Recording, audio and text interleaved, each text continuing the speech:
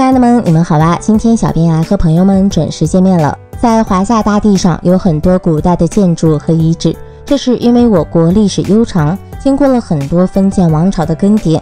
每个王朝在建立之后，统治者都会大兴土木，建造自己的宫殿和行宫，以方便自己出行游玩。到了今天，这些古代建筑和遗址成了大热的旅游地。说到宫殿，大家肯定会想到故宫。这座宫殿经历了两个王朝。如今仍以绝美容颜屹立于世。然而，我国还有一个宫殿和北京故宫只差了一个字，可是却成了遗址，这就是南京故宫。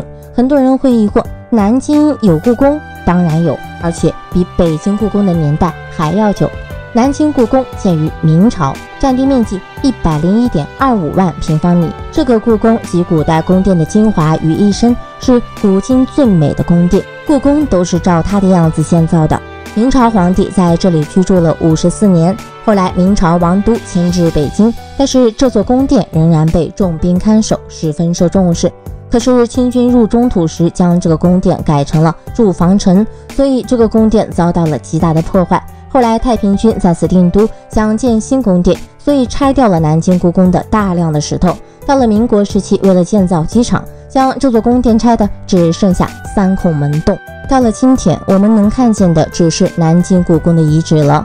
从现存的遗址可以推测出当年的宫殿是多么的庞大精美，其布局考虑的十分合理，顺应自然的地势和水脉，并建造了池塘和宫殿，并且建宫殿时严格遵守了礼仪制度，体现皇权的威严。